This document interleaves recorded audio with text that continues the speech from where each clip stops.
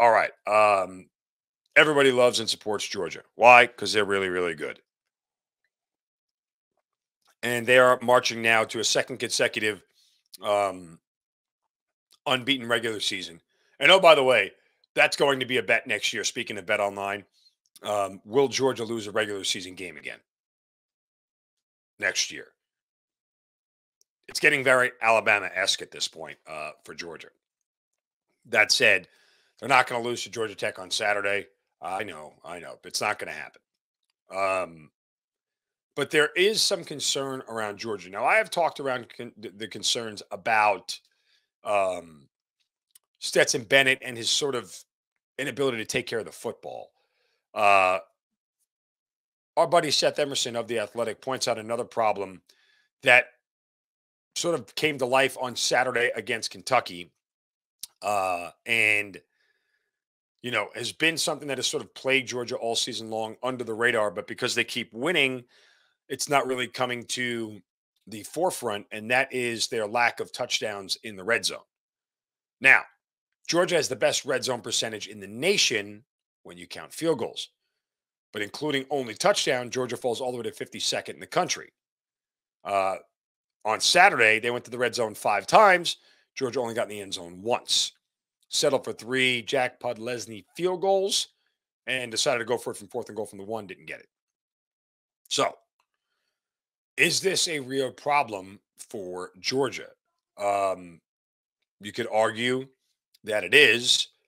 Uh, but you could also argue this is maybe a little bit more about Todd Monken and the offense trying to get too cute. Georgia averages 5.4 yards per rush and probably has two of the most tight end dominant, uh, is two of the most dominant tight ends rather in the entire sport. Uh, and how do they not just make this that simple? You could call it coaching, you could call it play calling, you could call it execution, you could call it a lot of things. Uh, not everything is, you know, actually, uh, uh, you know, not everything is the same on all those red zone drives, so it's hard to figure out. Um, runs from the five yard line or closer. Georgia has rushed it 41 times, scoring on 19 of those rushes, an average of 2.16. That ranks 40th out of 77 teams with at least 20 such attempts. On passes from the five yard lines or closer, Georgia's 8 of 12 with six touchdowns. That's tied for 13th most in that situation. No interceptions, no sacks. And and to Stetson Bennett's credit, of all the turnovers he's made, he hasn't turned the ball over in the red area. Um, here's the thing, and this is probably why this hasn't come to the forefront as a bigger issue, and that simply is Georgia can afford to get away with kicking field goals because their defense has been so good. Now, let's fast forward. Does that same situation apply when they face a team in the college football playoff. Now, I know Georgia fans, I know, God forbid anybody think that somebody could beat Georgia. But, uh, you know, I would look at the Tennessee game as probably the one game that they've played this year against a college football playoff caliber team, right?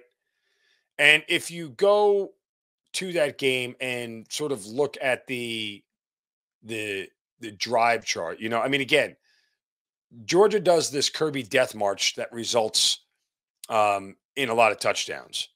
Um, but you know, their first touchdown was a 13 yard run by Stetson Bennett, so they were in the red area. Um, their next touchdown was a 37 yard pass, not in the red area. Their third touchdown um, was a five yard pass from Bennett from the five yard line. Uh, they settled for another field goal. Where was that from? That was at the Tennessee two. But again, you know, again, situationally, when Georgia's up 21 6 and you're at the end of the first half, you obviously kick the darn field goal. They start out the second half. The drive stalls out at the Tennessee 20, even though they went 15 plays. Um, they kick a field goal, you know, and then they weren't in the red area the rest of the game. So, situationally, the field goals haven't been hurting them because it's smart to take them. And that's the other thing. Georgia's never really trailed, right? Other than Missouri, they've never really trailed enough in any game where kicking a field goal was a net negative, right? The problem was is that Georgia kicked four field goals before they ever scored a touchdown in that game. They kicked two field goals in the second quarter, two field goals in the third quarter, and that was that.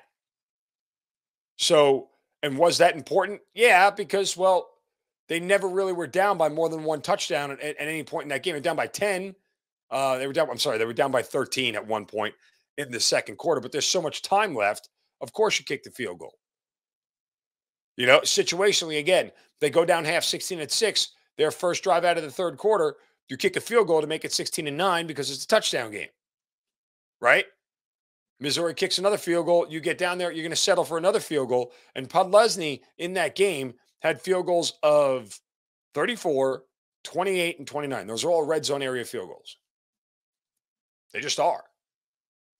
So um, that's the only game where it was ever in doubt that Georgia, you know, may- maybe needed to go for it when they didn't have to go for it. But when you play with the lead routinely, field goals aren't a bad thing. That's why this isn't being talked about. Now, when you get into a game against a team like, you know, Ohio State, if they're fourth or whatever, or Michigan or or USC, a team that can score and score very quickly, can you settle for field goals? Nobody really knows the answer to that. We'll find out. But that really is something that needs to be considered um, when it comes to how this team performs in the college football playoff. Will it hurt them? Chances are no, because again, their defense is so good, but just something to think about. If you get a game where the perfect storm comes together, Stetson Bennett not taking care of the ball and settling for field goals, you may allow a team to hang around longer than possible.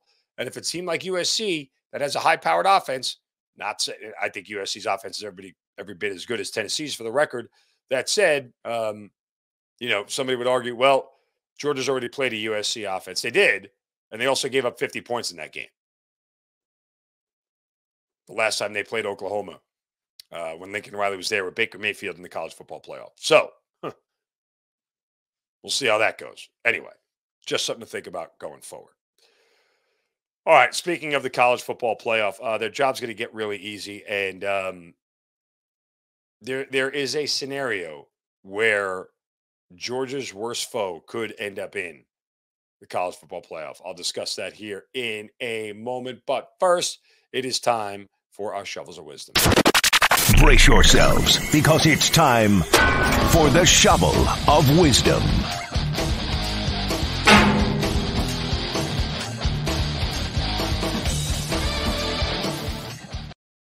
Yeah, you know how we do it every day. Somebody says or does something stupid, we have to reward them. We have to remind them how dumb they are and give them a shovel of wisdom. You can do so on my Twitter account at Mark Zinno, M A R K Z I N N O.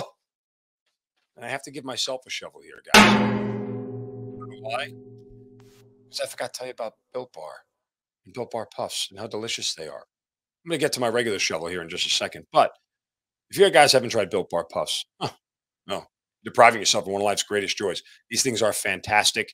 And I say this because I've had them, I've tried them, multiple flavors. They are perfect, the perfect snack. 160 calories, a whopping 15 grams of protein, covered in 100% real chocolate.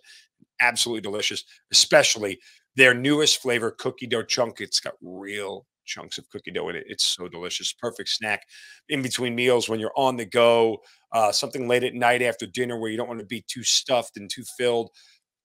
Built Bar Puffs, uh, amazing. Go to built.com, get a box for yourself, hide them from the kids, take it to the office, do whatever you need to do.